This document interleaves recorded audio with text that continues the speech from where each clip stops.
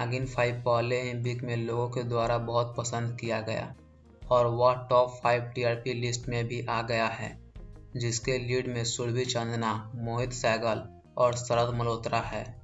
वहीं आने वाले एपिसोड में बहुत सारी न्यू एंट्री होगी, जिसमें से एक इंपॉर्टेंट एंट्री है, जो सौर्या लाथर के द्वारा प्ले किया जाएगा, जो इससे पहले हैबान इसकबाज और इश्क सुबान अल्लाह जैसे शो में आ चुके हैं।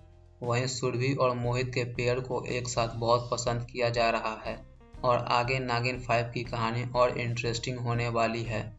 सो so गाइज़ आप सबको नागिन फाइव का एपिसोड कैसा लग रहा है कमेंट करें।